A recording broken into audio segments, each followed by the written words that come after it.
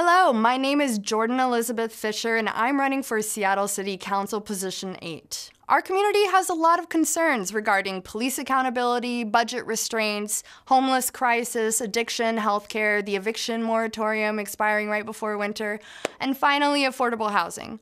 My experience as a mortgage lender and advocate for the homeless community gave me a comprehensive understanding of how money circulates, federal and state finance laws, core practices of the real estate industry that inhibit affordable housing, and how nonprofits operate.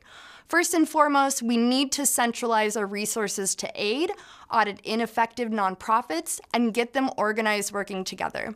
With affordable housing, we can incentivize a more co op style ownership of living in which a pool of renters have a fractional ownership of, let's say, a condo building.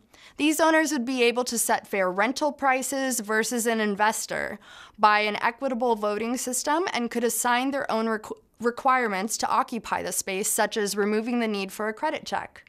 Additionally, renters would now have an affordable way to build equity and wealth. My platform is centered around the concept of putting the government on the blockchain. This is one of the most innovative technologies ever created. We can program our money with accounting features that would audit the effectiveness of our taxes, the city budget, political contributions, and even nonprofits. Blockchain allows for the streamlining of government resources like unemployment, rental assistance, grants, and aid, resulting in funds being more readily accessible. I want to give the people a voice on how their dollars are being spent.